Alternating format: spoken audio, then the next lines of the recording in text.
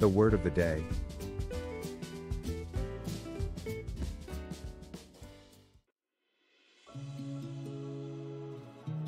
Scapegoat.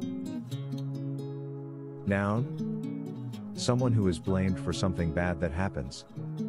Even if it is not their fault.